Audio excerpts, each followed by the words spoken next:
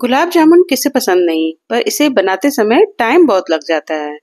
तो आज मैं लाई हूँ आप लोगों के लिए एक ऐसा प्रीमिक्स जिसे आप पहले से ही बना के रख सकते हैं, और जब भी आपको गुलाब जामुन बनाने हो, बस फटाफट से इस प्रीमिक्स को उठाइए और गुलाब जामुन बना के तैयार कर लीजिए। तो चलिए वीडियो बनाना स्टार्ट करते हैं। इसके लिए मैंने यहाँ पे लिया है आधा कप मिल्क पाउडर आधा कप डालेंगे मैदा अब इसमें डालू मैं एक चौथाई चम्मच बेकिंग पाउडर। एक चम्मच डालेंगे देसी घी। अगर आपको ज़्यादा क्वांटिटी में ही प्रीमिक्स चाहिए तो आप इसी मेजरिंग को ही बढ़ा सकते हैं। चार से पाँच इलायची को दरदरा पीस के मैंने इसमें डाल दिया है। अब इसे हम अच्छे से मिक्स करेंगे। फ्रेंड्स, आप मेरा ये वीडियो किस सिटी से देख रहे हैं, मुझे कमेंट बॉक्स में ज़रूर बताइएगा, ताकि मैं आपका थैंक्स कर सकूँ।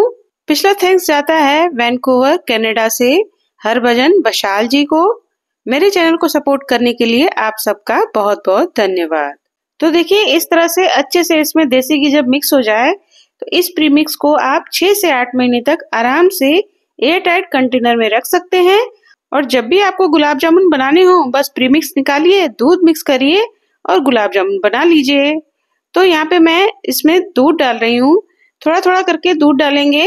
अभी मैंने आधा कप दूध लिया है, जितनी रिक्वायरमेंट होगी, उतना ही हम इसमें दूध डालेंगे। तो इस तरह से इसको अच्छे से मसलते हुए हमें इसका डो बनाना है। बहुत ज़्यादा सख्त डो नहीं होना चाहिए। देखिए, इस तरह का थोड़ा गीला ही डो हो क्योंकि थोड़ी देर रखने के बाद ये थोड़ा ड्राई भी होता है। आधा कप दूध लिया था मैंने, इसमें से आधा दूध बच गया है तो यानी एक चौथाई कप दूध इसमें लग गया है। अब इसके साइड से भी हम ये आटा हटा देंगे, वरना ये सूख जाएगा। तो इसको भी हटा के डो के ऊपर लगा देंगे और इसे ढक के रखेंगे लगभग 10 मिनट के लिए। तो चलिए जब तक चाशनी बना लेते हैं। चाशनी के लिए मैंने यहाँ पे एक बर्तन लिया है, इसमें डालेंगे डेढ़ कप चीनी, दो कप डालेंगे इसमें पानी। चाशनी के लिए ऐसे चौड़े मुँह वाला ही बर्तन लें ताकि उसमें गुलाब जामुन अच्छे से भीग सके। इसमें दो इलायची भी डाल दी है मैंने चाशनी को ज़्यादा नहीं उबालना है, बस चीनी उसमें पिघल जाए और एक दो उबाल जाए तो हमें गैस को बंद कर देना है। तो यहाँ पे देखिए, चाशनी में उबाल आ गया है। इससे ज़्यादा गाढ़ी चाशनी हम नहीं करेंगे, वरना गुलाब जामुन चाशनी को सोख नहीं कर पाते हैं। तो गैस बंद करके इसे हम ढक के रख देते हैं। यहाँ पे आटा भी अच्छे से सेट हो गया है। ये देखिए, थोड़ा सा ड्राई हो गया है।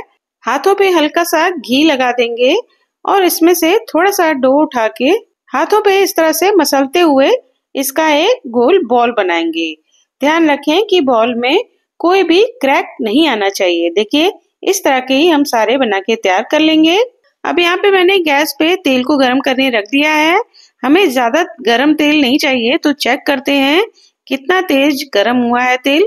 ये देखिए हल्के हल्के बुलबुले उठने लगे इसमें। बस इतना ही हमें तेल को गर्म करना है।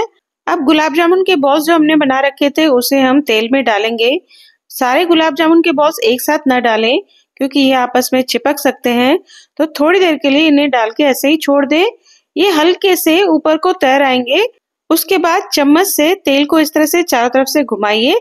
ये अपने आप ही ऊपर को आ जाएँगे। और धीमी आँच पे इसे गोल्डन ब्राउन होने तक फ्राई करिए।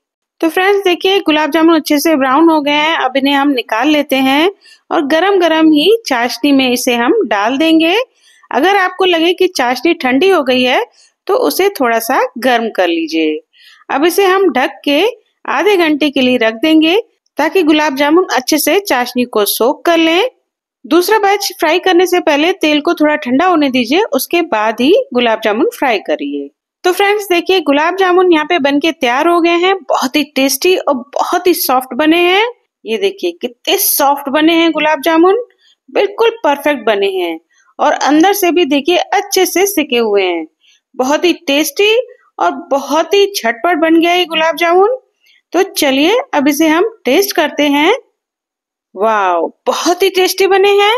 तो फ्रेंड्स अगर आपको मेरा ये वीडियो पसंद आया तो इसे लाइक करें कमेंट करें, अपने फ्रेंड्स और फैमिली में से शेयर करें। मिलते हैं नेक्स्ट वीडियो में। Till then thank you for watching and take care